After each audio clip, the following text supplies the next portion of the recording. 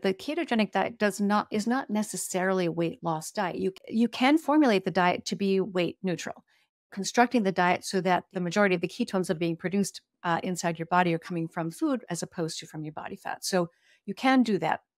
And I have had some normal weight patients and even some slightly underweight patients and some very physically fit patients, you know, very athletic patients uh, who did not need to lose any weight.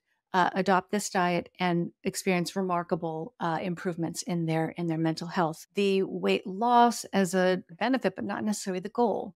The diets that had historically been used to treat pediatric epilepsy, especially early on, were very restrictive uh, with respect to protein. And so they were extremely high fat diets, about 90% fat, and in many cases, about 6% protein. Far too little protein. Yeah, just too little protein to, to be healthy, especially for, for, for growth. Three of the major driving forces underlying neuropsychiatric illnesses are inflammation, oxidative stress, and insulin resistance.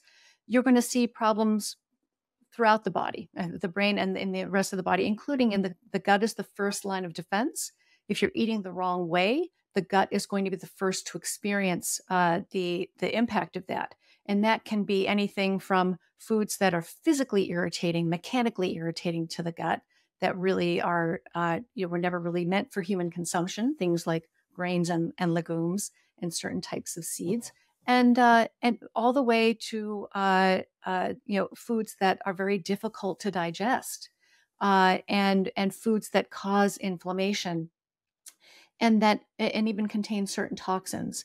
So there are some uh, plant foods uh, that can naturally contain toxins which which are damaging to our cells, and so the the gut will be the first.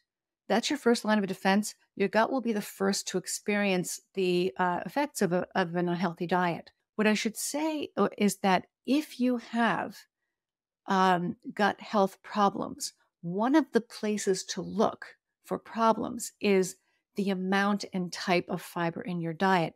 And, and often the recommendation is to increase the amount and type of fiber in your diet. And what and there's actually no science to support that whatsoever. There are a few studies that show us that actually, if you do the opposite, if you reduce the amount of fiber in your diet and you and you eat a diet that is easier to digest, because fiber is by definition indigestible.